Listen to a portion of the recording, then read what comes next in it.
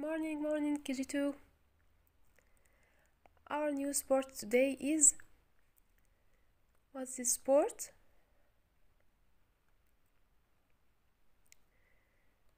This is ping pong. Ping pong. Ping pong. We can play ping pong in sports hall. Ping pong. Ping pong.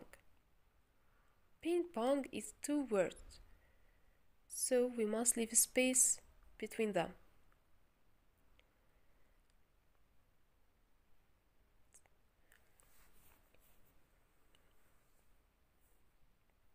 Ping pong. Let's write ping pong. P, P, P for pen and I. P, N, N, G, G, G.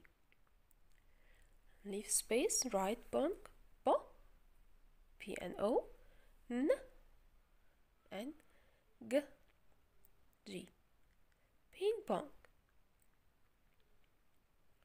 One more time. P, P and I, N, and G, G, And O, N, and G, G. Ping pong.